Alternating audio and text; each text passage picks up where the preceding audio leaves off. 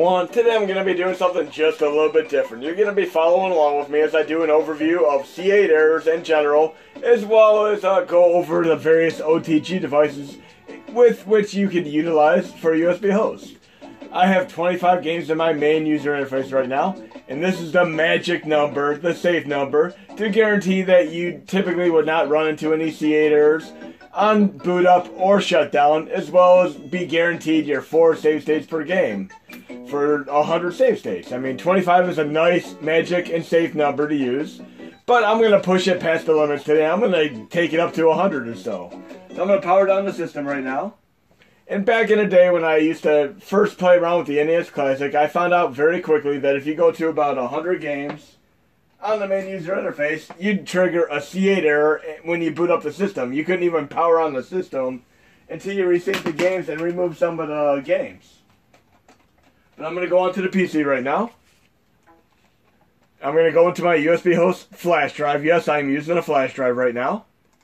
I'm going to go to where my games are stored. And I have 25 games in this directory right now.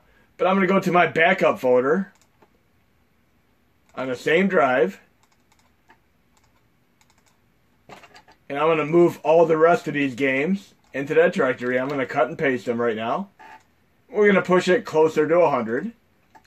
We're going to be guaranteed a C8 when I shut down now. It's guaranteed. 93 or so games. I mean, over 90. So I'm going to power up the system again. Another thing to mention is the more games you have, the longer it's going to take to boot your system as well as navigate the menus. So I'm booting up again. To take a little bit longer than the last time I booted up with only 25 games. And this comes into account when you're using the various OTG devices as well, which I'm going to show you. But we're booting up. It's to take just a few more seconds. And I am running via the slow Octopus OTG device right now, along with a USB flash drive. And I'm to go over this when I'm back on the PC in a couple of minutes. But I have over 90 games, and when I shut the system off, I'm going to get a C8. So everything's fine and dandy. I have 90 plus games right now. I'm going to shut the system down. And welcome to C8. My nightmare. Here we go. If you ever get a C8 on shutdown, all you have to do is just power the system back on, then back off, and you're good to go. Now I'm booting up to the PC again. And we're going to be doing something a little bit magical today. We're going to be installing a new HMOD. I'm going to go into hakchi so you can see what it is. Because I'm putting a core set update out today as well. Install extra modules.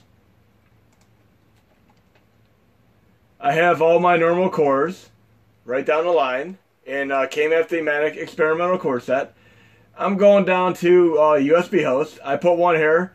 Mad Monkey C8 Error Deterrent.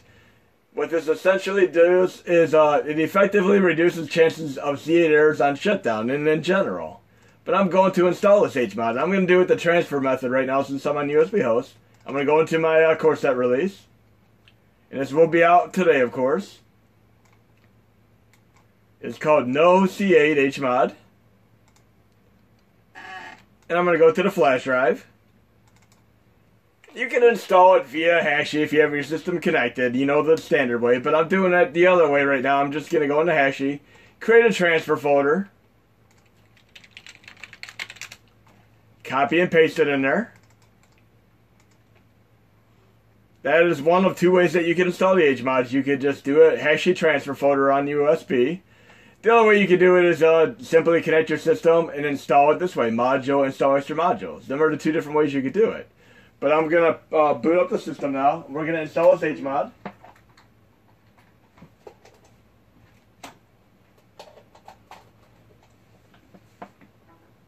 And we're going to get a double splash screen right now. And again, it's going to take a few seconds because I'm running over 90 games. And that is because I'm on the slower OTG device along with a slower flash drive. And I'm going to get into that as well as uh, far as the optimal setup to use for USB hosts. They have the fast blazing speeds and such. There's my double splash screen to signify that that no C8 HMOD installed. So once I'm on the main user interface with still my 90 games, I'm going to shut the system down, and guess what? I'm going to have far less chance of getting a C8 error. I still have my 90 games here, but I have the no C8 HMOD installed, courtesy of madmonkey. I'm going to power off, and I'm not going to get a C8 error now. Still, I wouldn't recommend really pushing it. I would still stick to your 30 games, but you're going to be able to go over that limit with this H mod and be fine 9 out of 10 times. I'm going to put back up to the PC real quick and go over one more thing. There are three different OTG devices that you could use. There's the slowest of the bunch, and uh, let me open this here. This is the one that I'm using right now. I call it the Octopus OTG. And yes, it looks like an octopus. You have uh, typically an OTG and chart which You'd always want to have it in the OTG position. You have the thing, uh, the power connector, and then you have the little connectors for the USB devices. This is the slowest possible setup you could have. And you can connect the flash drive and two other devices such as a mouse or keyboard to it. And I have this flash drive right here connected to it right now. So I have a slow OTG in that right now. And then uh, the second best one that you could use, should I say uh, the next best in line, would be this one here, which is a left angle. You got to make sure it is a left angle, otherwise you're going to be blocking the power port on the system. You only have space for one single uh, flash drive or such. And the third device, which is by far the best one and it's the fastest, right here. It's an Inateck OTG device. This thing is spectacular. It runs around 10 US dollars, but it's Inateck. That is the one that I'd highly recommend getting. And you can connect three different devices to it. And uh, one's the flash drive, of course. But the next best thing in line would be a Passport hard drive. I mean, the Passports are nice because they're self-powered. You don't have to worry about any external power source. But I am running a Passport solid state drive with no moving parts along with the Inateck right now. So I have the fastest setup of all. And of course, the flash drives that you have in general could also have a various uh, format. And uh, if I plug it into the, the computer right now real fast, there are three formats that you could use for uh, USB hosts. And I'm going to look at my drive right here. We have NTFS, which is uh, the second best one you could use. You could use FAT32 as well, but it is a little bit slower and not as reliable. But the one that is actually better than uh, even that is NT is uh, EXT4. I'm gonna plug in my EXT4 drive right now.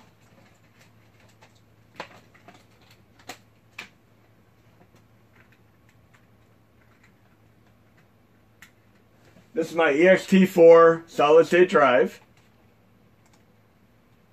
And I'm using this program on Windows, Paragon. And I have it mounted right now. I'm going to property that. I have it in ext4. That is the single best format that you could have the flash drive or hard drive in, ext4. And I'm going to be doing more tutorials on that in general, but for the most part, you're fine with NTFS because that runs just fine in Windows, but ext4 is best. So right now my setup is exactly this. I have ext4 on the solid state hard drive with the fastest OTG device. And I'm going to boot that up right now. And we're going to do it from the get-go and see how quickly I can boot it up. But I have to safely remove it with Paragon first. It is always good to safely remove the drives. I'm just going to eject it right now. And it's going to unmount it. I'm not going to power the system on yet. I'm going to actually switch over so you can see how, how it boots up. But I am running around 100 games in the main user interface, and I am on the fastest OTG device, along with the solid state drive in ext4 format. So let's boot up here and watch how fast it boots up. Going certainly boot up a lot faster than my uh, Octopus uh, OTG device, along with the... Uh, the flash drive, which is a very, very slow device. Look at that, it booted up in around two seconds. Okay?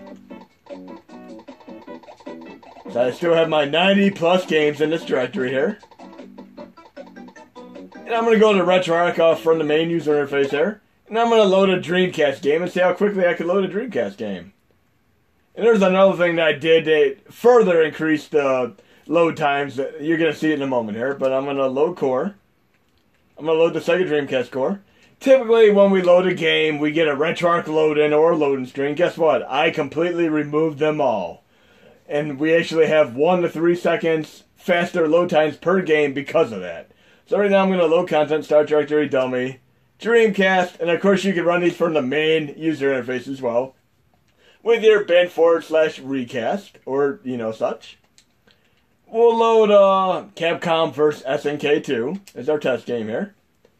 1 1000, 2 1000, 3 1000, 4 1000, 5 1000, 6 1000, 7 1000, 8 1000. 8 seconds. It typically would take me 30 to 45 seconds to load these things on my flash drive. Some of these games load even around 5 seconds. They're pretty fast. Even going from uh, this clock menu to the next uh, end game takes another like 30, 40 seconds. It was taking me around 3 minutes on my slowest setup of all.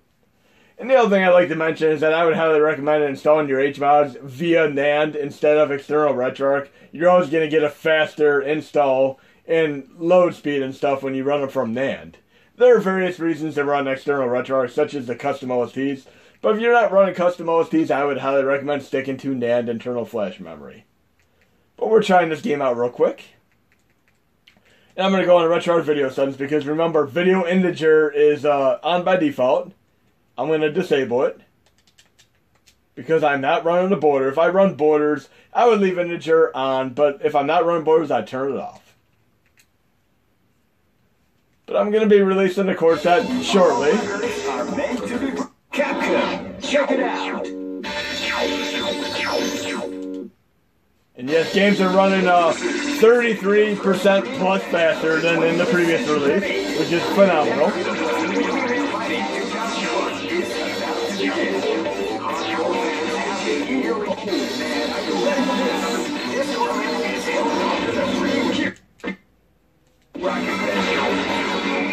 And I'm going to be going over one other specific detail regarding Dreamcast as well.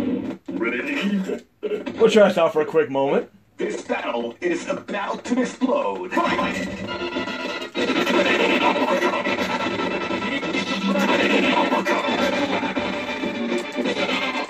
Way faster than before, which is awesome.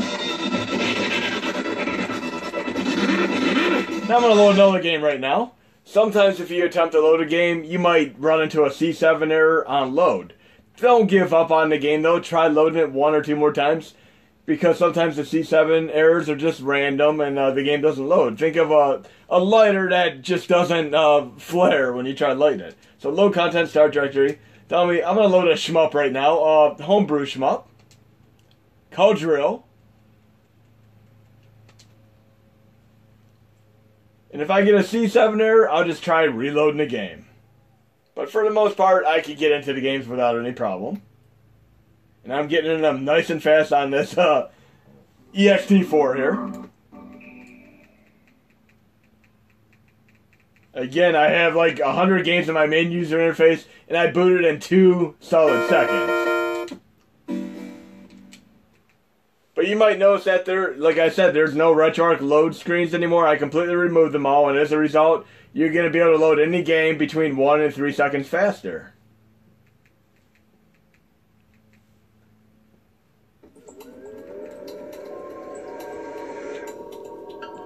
So we're trying out this homebrew shmup, which is a pretty cool game if you're into shmups, and many of you might have seen my uh, Shmup Extravaganza series, but right now I'm doing the horror extravaganza series, of which I'm going to do many more.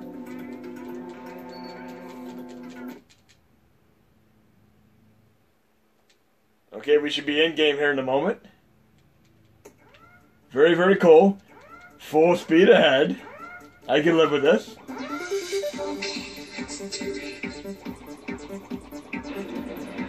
Bullet Hell Shmup and I have a little bit of lag, so I paused the game like I showed you in a previous test video. Then I'm going to resume it.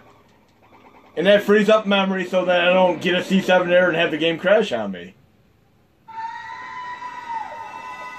And I would also recommend having ZRAM uh, Nintendo 64 uh, crash inhibitor installed because that helps out a bit on games such as Dreamcast and PSP, which use more RAM. Because of the RAM compression with a swap file, it works out better this way. And one thing to note that is incredible about ZRAM is that you can install it and use it whether or not you're on NAND or USB host. It works on both because it works with the kernel directly. Okay, we're